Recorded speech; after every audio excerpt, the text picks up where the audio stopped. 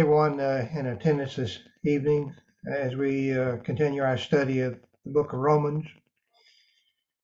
We left off with the 26th verse of chapter 8 last week, so we'll start with the 27th verse uh, this week.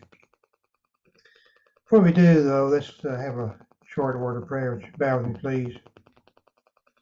And Father, we pray that they'll bless this study of ours, and we, we're grateful for this in this old dark and troubled world that there is this light of the gospel that lights our path through these times and on our way to, to heaven. So we're appreciative of thy wisdom that thou hast left us, and we pray, Father, that each of us would study thy word diligently, that we may incorporate it into our lives.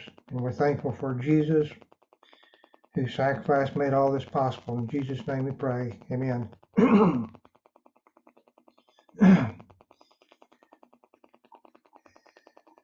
we had this kind of a, a long uh, commentary on verse 26, but we'll, and I hope you remember that. But anyway, verse 27 he says, Now he who searches the heart knows what the mind of the Spirit is, because he makes intercession for the saints according to the will of God. As I said last week, uh, God is the great heart searcher. He knows our every thought, uh, purpose, and longing. Jeremiah recorded the Lord as saying, I, the Lord, search the heart. I test the mind, even to give every man according to his ways according to the fruit of his doings. That's probably a good scripture for David to have used. but what is the mind of the Spirit? a mind uh, may refer to one's intellectual faculty, or mental disposition, or mood. And it would be unlikely that Paul uh, would make the mind of the Spirit refer to the intellectual faculty or mental disposition or mood of the Holy Spirit. In Romans, the eighth chapter, verse 6, Paul wrote, For to be carnally minded is death, but to be spiritually minded is life and peace. Or as the ASV says, uh, the mind of the flesh is death, the mind of the spirit is life and peace. so the mind of the flesh is the uh, mental disposition or mood of the person dominated by the flesh. Contrariwise, the mind of the spirit is the mental disposition or mood of the person guided by the spirit according to the will of God. God who searches the heart knows the mental disposition, the feelings, and aspirations produced by the Spirit. now, what we just covered uh, in these last few chapters, uh, admittedly, is a difficult section to interpret and understand. And uh, Moses E. Lard, who had a commentary on Romans, and a very uh, astute individual, very scholarly individual, he perhaps uh, said uh, what should be an exercise in humility. He said the foregoing, not this, not just this one verse, but uh, last few verses. The foregoing is submitted as the best solution that at command of a passage which, by general consent of commentators, is difficult. As I wish I felt sure that the solution in every part is correct, but I do not. It is, however, the best discoverable, discoverable by me. When the reader has given the passage of thought which I have, then, but not before, he will be in a condition to be as distrustful as I am. well, in verse 28, uh, and we know, a very familiar passage to us all, and we know that all things work together for good to those who love God and those who are the, the uh, called according to his purpose. Now, the the, the called, the the is not in the ASV. So it could be uh, to those who are called, like uh, Paul was a called apostle. And according to his uh, purpose, that comes from a Greek word, prothesis, and uh, it's the, the, real root of that word is it's the showbread. In fact, in a number of places it's translated showbread. It's the showbread as exposed or laid out before God. So the expressions, those who love God and the call according to his purpose, are the same people. Now, they're the ones who are led by the Spirit, Christians, God's children. so, what are the all things, quote unquote, that are working together? Since all things is plural, uh, must be that some things are working in coordination with other things for good. Of course, there are some things that will not work with other things for any ultimate good, which is, uh, of course, we're looking for justification and salvation. As an example, perversion will not work with virtue uh, to bring about anything wholesome. So, up to this point, Paul has spoken about what God has done and is doing for us. In all of God's dealings with men, Jews and Gentiles alike, he worked for their good, that is, their uh, justification and salvation. And he was successful, provided they loved him and were obedient to the system under which they lived. That is, were called. The all things then should be limited to the things that Paul has been talking about as noted, the all things does not include together incongruent things, but it can include the adverse effects of life, its calamities, hardships, trials, and defeats, as well as its pleasures, enjoyments, and triumphs. Regardless how it may appear in the moment, in their consequences, these things are not incongruent. For something to be good, it does not have to be pleasant. Romans 8, chapter verse 18. of course, some things can be pleasant without being good, such as the uh, passing pleasures of sin, Hebrews 11:25. And some things can be both pleasant and good, as the psalmist wrote in Psalms 133, verse 1 Behold, how good and how pleasant it is for brethren to dwell together in unity. this promise of good is guaranteed only to those who love God and are called according to his purpose. Hardships may bring bring the lost to Christ. Well, if, if so, it was to their good. Otherwise, hardships and or pleasures do not work them good, either one.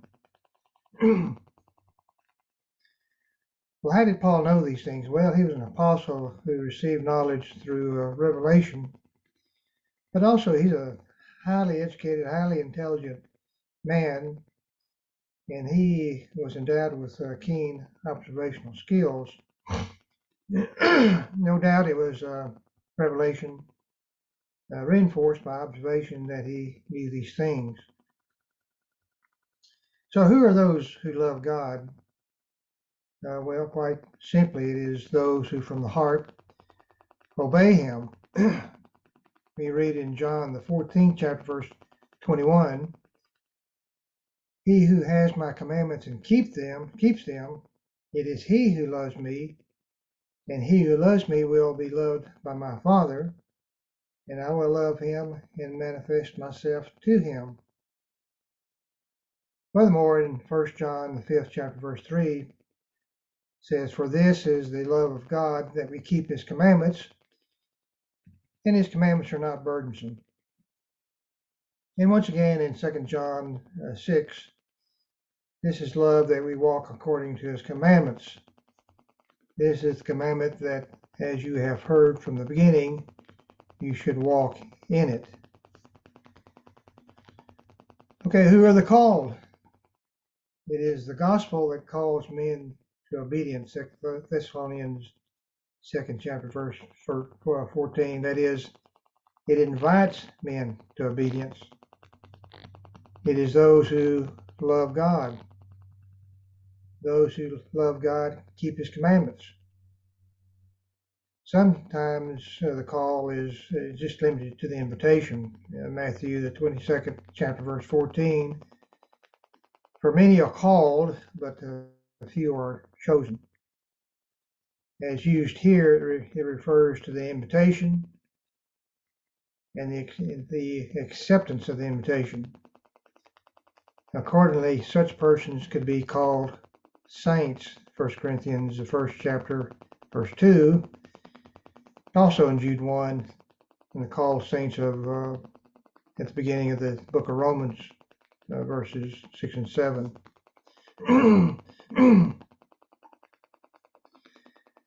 Besides living God, uh, good only works for those who are called according to the purpose of God.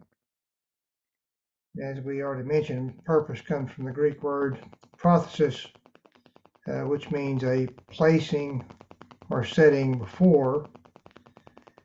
And in this case, it was a showbread, a setting forth, a presentation, an exposition, a determination, a plan, or a will.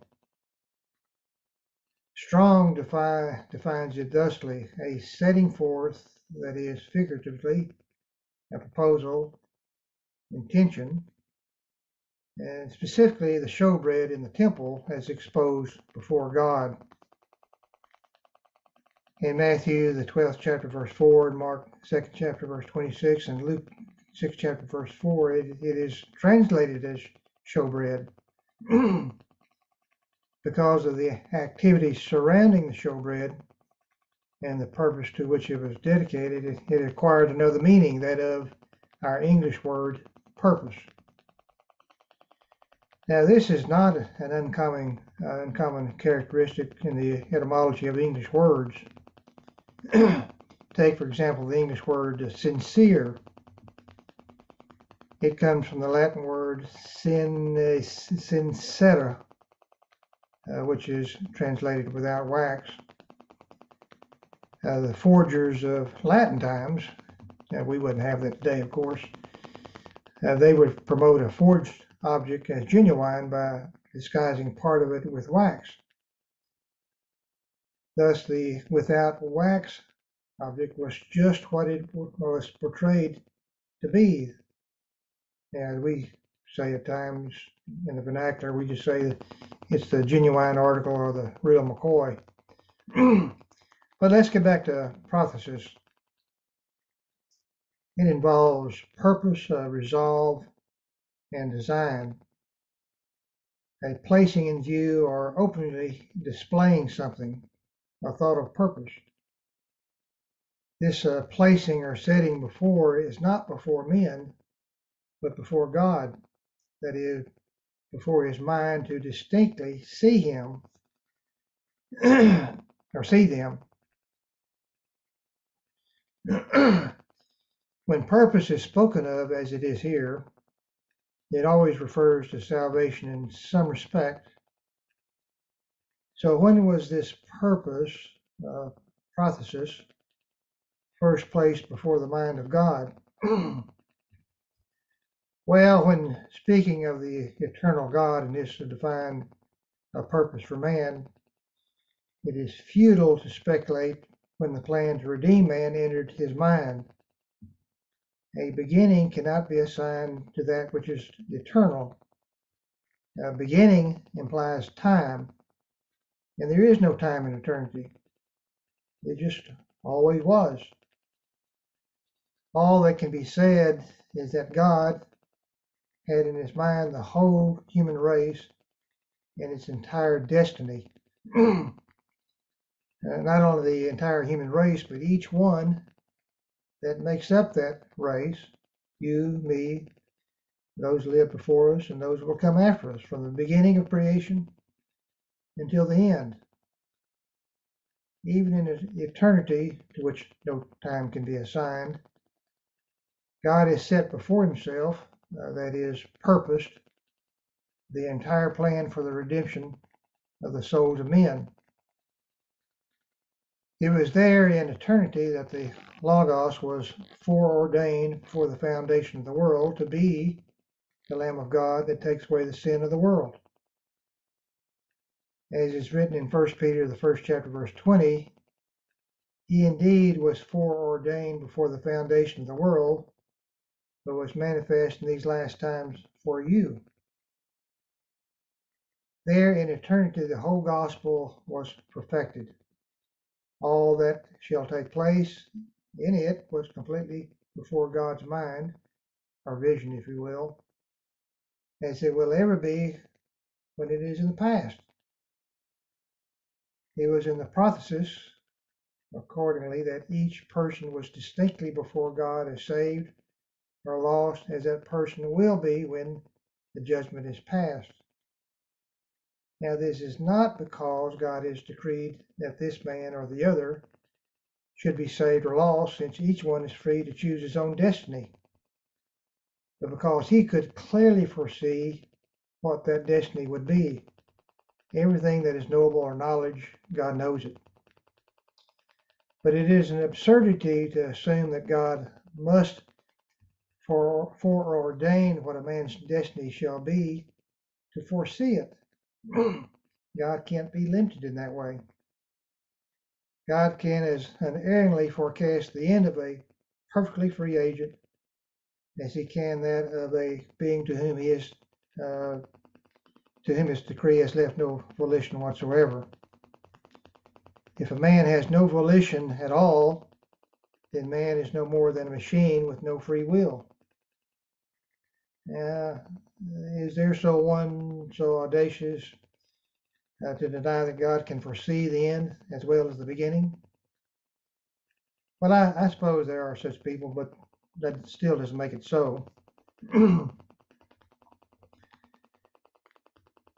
is this complete view of the future uh, presented by the, this word uh, that enabled Paul to say so confidently that all things work together for the good of those who love God. And this also explains the clause called according to his purpose. In the prothesis, all things pertaining to man's redemption were set before God, in a manner of speaking. That is, he had it in his mind. And included in the all things was his predetermination that man should be called by the gospel. uh, in 2 Timothy, the 13th chapter, verse 14, it reads there, But we are bound to give thanks to God always for you, brethren, beloved by the Lord, because God from the beginning chose you for salvation through sanctification by the Spirit and belief in the truth. Those are the qualifying uh, conditions for uh, being chose, chosen for salvation. That is the predetermination.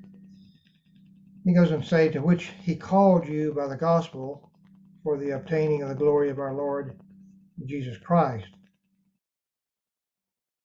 The prothesis is also spoken of by Paul in the Ephesian letter when he wrote Ephesians uh, first chapter verse 11 in him we also also we have obtained an inheritance, being predestined according to the purpose of him who works all things according to the counsel of his will, uh, purposes and prothesis.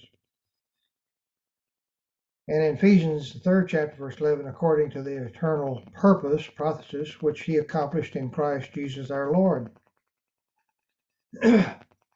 Therefore, to be called according to the God's uh, purpose, this prothesis, is to be called by the gospel. It is not some warm feeling or fire from the Holy Spirit that signals that uh, you are the one of the uh, one of the elect, therefore saved. It is simply to be called by the hearing of the gospel. it is this call that we are free to accept or reject. By our free choice, we are saved or lost. And God knows what we'll, we'll do, but He doesn't force anybody one way or the other. In verse 29 of chapter 8,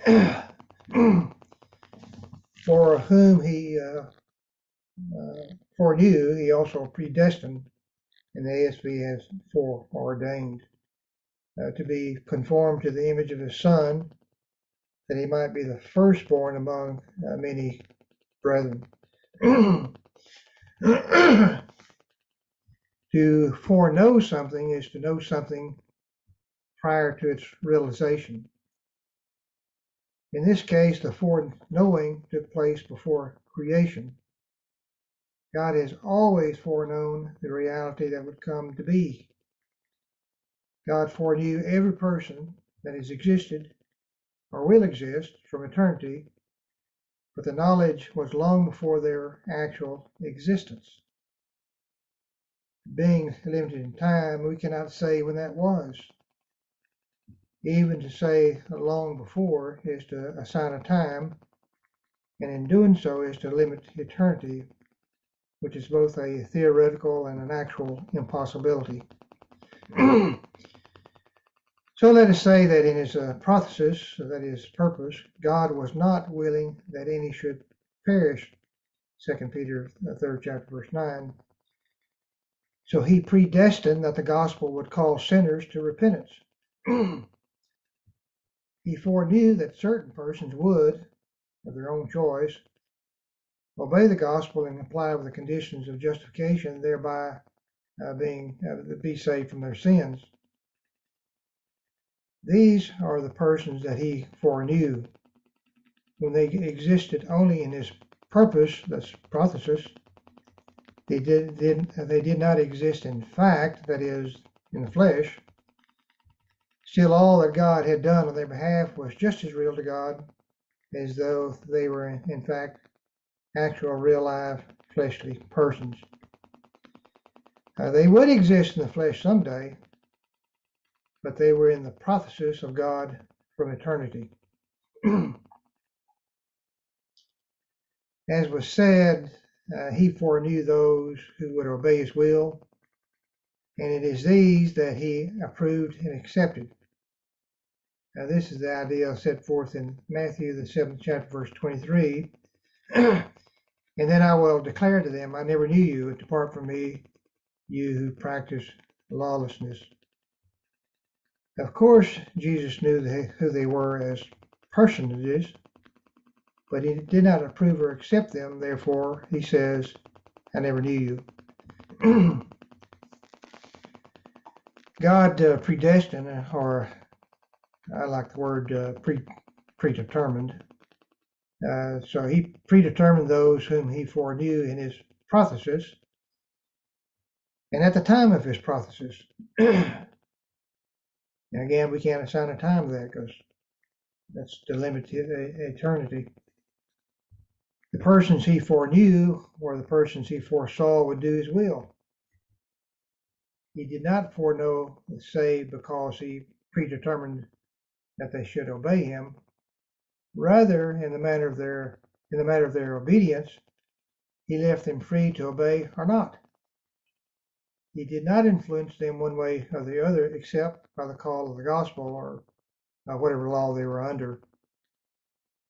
Those whom he foreknew that would be obedient, he pre predetermined that they should be conformed to the image of his son.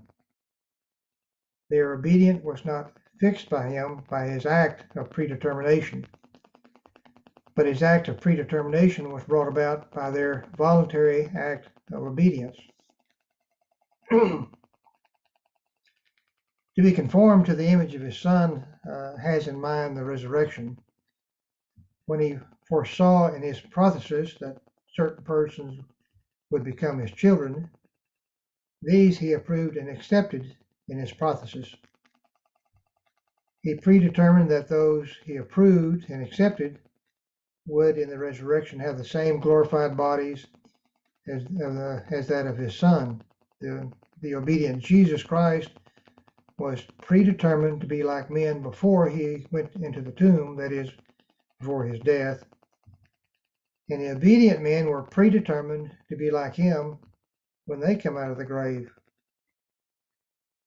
As is said by John, beloved, now we are children of God. And it has not yet been revealed what we shall be like, but we know that when he is revealed, we shall be, we shall be like him, for we shall see him as he is. First John, third chapter, verse uh, two. In all things, Christ is to have uh, preeminence. Here, uh, he is here accorded the honor and distinction of being the firstborn. As Paul wrote uh, in 1 Corinthians, the 15th chapter, verse 18, he is the image of the invisible God, the firstborn over all creation. For by him all things were created that are in heaven and that are on, are on earth, visible and invisible. Whether thrones or dominions or principalities or powers, all things are, were created through him and for him. And he is before all things, and in him all things consist. And he is the head of the body, the church, who is beginning, the firstborn from the dead, that in all things he may have the preeminence uh, of uh, have the preeminence. Colossians again, first chapter 15 through 18. in verse 30, it reads, Moreover, whom he predestined, uh, these he also called. Whom he called, these he also justified. And whom he justified, these he also glorified. Now, we need to keep in mind here that Paul is still talking about the prothesis of God. But the things purposed are yet in the future, that is, uh, in the future when God purposed. Those he predetermined to be conformed to the image of Christ, he called them in his prothesis. He called them either by the preaching of the prophets or some other righteous man or by the gospel. Uh, he called them in no other way or any special sense. There is nothing asserted or nor implied uh, that he called some and not others. The difference in the call is that some voluntarily accepted the call while others willfully rejected it. God is no respecter of persons, so he called all men knowing in his prothesis that some would reject it those prothesistic persons, and I don't look up that word because I made it up, those prothesistic uh, persons he called uh, who in the free exercise, exercise of their will accepted the message. God justified them. And those he justified, he, glor- he glorified. In considering these uh, past few verses, it, it is an error to assume that an act of foreknowledge necessarily implies an act of an unartful decree in, of every respect of human life, and that the predicates of the section, including uh, called, justified, and glorified, are said of actual human beings. In talking about the process, statistical human beings, again, it's a word I made up, uh, in the mind of God, that is, in the mind of God, uh, that's what he's talking about. Accordingly, uh, understanding the word prothesis is the clue to understanding this uh, section. In verse uh, 31, it reads, What then shall we say to these things? If God is for us, uh, who can be against us? Now, what things may be concluded from the things said about believers in the preceding few verses? But certainly we may rightly conclude that God is for us, uh, the faithful believer. If God is for us, who can defeat our justification, our glorification, except us? We may confidently say that Paul wrote, We know that all things work together for good to those who love God, to those who are called according to his purpose. In verse 32, he who did not spare his own son, but, but delivered him up for us all, how shall he not with him also freely give us all things? His own son, Jesus Christ, he did not spare. Now this was in, in accordance with his prophecies. He gave him up to suffer death on the cross to expiate our sins. As we live in the flesh, we deserve to die, to die for our sins.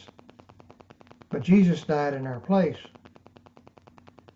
More than that, as the sinless paschal lamb, he died as a sin offering. Although Christ died for all mankind, uh, that is, his sacrifice benefited only those who obey him. Accordingly, accordingly the all, uh, us all refers to the redeemed. So he freely gives us all things. The query is a, has a, uh, an argument from the lesser to the greater. God gave up his son to die for us. His son is his greatest and best gift. That being the case, he will certainly withhold nothing else from his children, the redeemed. what more can he give? Verse 33 Who shall bring a charge against God's elect? It is God who justifies. Now, God's elect are not the prophets, but the actual obedient ones. The elect are the ones who he has accepted and justified because they have obeyed his son. Elect means to select because of obedience, not arbitrarily. Those who obey are elected. Those who don't are rejected. Obedience is not dependent dependent on election. Election is dependent on obedience. Only God justifies. A man can't do it. If uh, if one's on a card, uh, one may fall away, but a man cannot justify or condemn another. In verse uh, 34, who is he who condemns? It is Christ who died and furthermore is also risen who is even at the right hand of God, who also makes intercession for us. So, who is it that uh, condemns God's chosen people? Well, no one can rightly do so. Our sins are the grounds for our condemnation, but Christ died to procure remission of our sins. He now sits at the right hand of God to make intercession for us. So again, the question, who is he who condemns us? It is not Christ, since he died for us, and now it makes intercession for us. Well, again, uh, there's no one, we can only condemn ourselves. Verse 35 Who shall separate us from the love of Christ? Shall, shall uh, tribulation or distress, or persecution, or famine, or nakedness, or peril, or sword? Well, the response is no one can, nor can the adverse circumstances of life and flesh, which are common to us all. As Paul wrote uh, previously in Romans, the fifth chapter, verse uh, 3 through 4, and not only that, but we also glory in tribulations, knowing that tribulation produces perseverance, and perseverance character, and character hope. Paul said in verse 17, if we suffer with him, we shall be glorified with him. So these things enumerated here are intended to strengthen us and serve as proof that uh, that nothing can separate us from the love of Christ. As the writer of Hebrews said, for he himself has said, I will never leave you nor forsake you. So we may boldly say, The Lord is my helper, a helper. I will not fear. What can man do to me?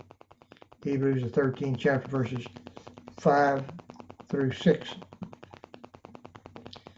Verse 36, uh, as it is written, For your sake we are killed all day long.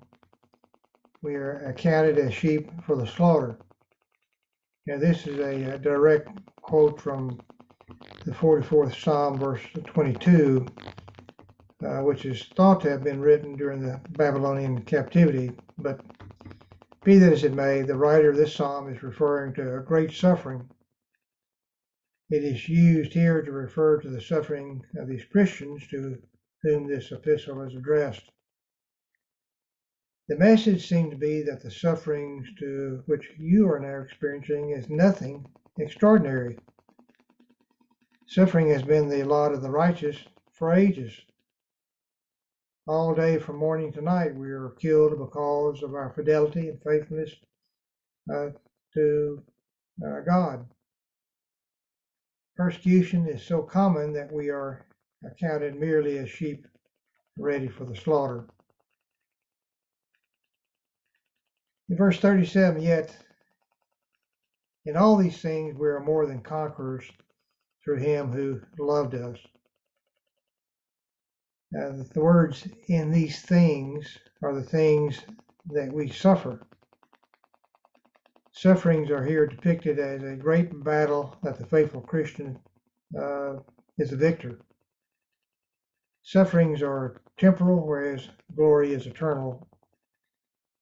We achieve this by the help given us by our Savior Jesus Christ, who loved us and gave himself for us. Ephesians 5th chapter verse 2. In verse uh, 38 and 39, we'll consider them together. For I am persuaded that neither death, nor life, nor angels, nor principalities, nor powers, nor things present, nor things to come, nor height, nor depth, nor any other created thing shall be able to separate us from the love of God which is in Christ Jesus our Lord. Now, this uh, confirms the preceding two verses uh, since he talks of these things uh, being unable to separate us from the love of God, indicates that the things enumerated uh, here are actually or conceivably hostile to Christians. Each of these items must be viewed in the in its adverse aspects, or at least in concept. For example, why would angels, if they be good angels, want to separate us from the love of God? They would not. It is merely hypothetical for illustrative purposes. It shows that nothing can cause the separation. Now, the gift of his Son on the cross is the love of God which is in Christ Jesus our Lord. Now that ends uh, chapter 8, so the uh, apostle uh, now proceeds uh, to consider the case of the Jews more at length than he has yet done, and which he continues uh, through the, uh, the 9th, 10th, and 11th chapters. he first, however, strongly asserts the interest he feels in their, their welfare, mentioning things that honored and distinguished them. He vindicates God's dealings with them, especially his choices which had affected them greatly. He shows that God had acted justly and in accordance with prophecy in rejecting so many of them, and had done the same in receiving the Gentiles. He tells them that their great and fatal error was that they had not received Christ. Paul also brings out that God had at last rejected Israel and accepted the Gentiles. Uh, nothing could have been more offensive to the Jew uh, than than that. Paul makes the uh, this painful disclosure with the skill of a master orator. It is, it is in his methodology and the conclusions to which the audience must uh, reach that precludes any possible objection, objection that the Jew uh, could offer. So in verse 1 of chapter 9, he says, I tell the truth in Christ, I am not lying, my conscience also bearing me witness in the Holy Spirit. So Paul makes here a strong and, and emphatic declaration that what he is about to say is the solemn truth. He is saying that I speak the truth as in Christ and as accountable to him. Those who are in fellowship with Christ are under the most solemn obligation to speak the truth whenever whenever they do speak. The uh, quote, I am not lying, quote, unquote, merely emphasizes in a negative way the statement, I tell the truth. Paul's conscience was bearing him witness that he was not lying, and the Holy Spirit means open to its inspection. But what is conscience? uh, Nelson's Bible Dictionary has this to say about it. A person's inner awareness of conforming to the will of God or departing from it, resulting in either a sense of approval or condemnation. This uh, the term does not appear in the Old Testament, uh, but the concept does. David, for example, was smitten in his heart because of his lack of trust in the power of God, 2 Samuel, Samuel 24th chapter, verse 10. But his guilt turned to joy when he sought the Lord's forgiveness, uh, Psalm 32. In the New Testament, the term conscience is found most frequently in the writings of the Apostle Paul, you know, still uh, continuing from uh, Nelson's. Some people argue erroneously that conscience takes the place of the external law in the Old Testament. However, the conscience is not the ultimate standard of moral goodness, 1 Corinthians 4th chapter, verse 4. Under both the Old Covenant and the New Covenant, the conscience must be formed by the will of God. The law given to Israel was inscribed on the hearts of believers. Uh, Hebrews 8 chapter verse 10 and the 10th chapter verse 16. So the sensitized conscience is able to discern God's judgment against sin. Now Romans the second chapter verses 14 and 15. The conscience of the believer has been cleansed by the work of Jesus Christ, so it no longer accuses and, it con- and condemns Hebrews, the ninth chapter, verse 14, and the 10th chapter, verse 22. Believers are to work to maintain pure consciences. They also must be careful not to encourage others to act against their consciences. To act contrary to the urging, urging of one's conscience is wrong, for actions that go against the conscience cannot arise out of faith. 1 Corinthians, 8th chapter, uh, in the 10th chapter, verse uh, 22, 23 through 33. verse 2, he says, For I have a great sorrow, sorrow and continual grief in my heart. Uh, given the context, Paul is saying that he has a great sorrow and grief on account of his countrymen, that is, his fellow Jews. His countrymen had repudiated Christ and this fact caused him sorrow and grief. Uh, he will lead them to this uh, conclusion. Verse 3 says, For I could wish that I myself were accursed from Christ for my brethren, and my countrymen according to the flesh. Well, Paul clearly considered the unbelieving Jews as accursed, uh, that is, condemned and uh, banished from the presence of God forever. Uh, but he doesn't say it outright, not yet anyway. Yeah, he is developing his point. Because of his affection for his countrymen, he could wish, but really he does not wish, that he was accursed from Christ in their stead.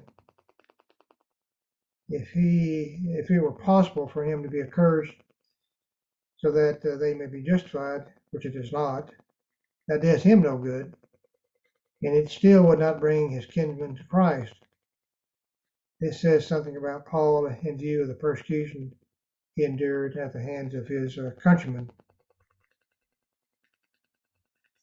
And uh, the next section is a pretty long section, so we'll stop here since it's the bottom of the hour, and we'll start with verse 4 of chapter 9 next week.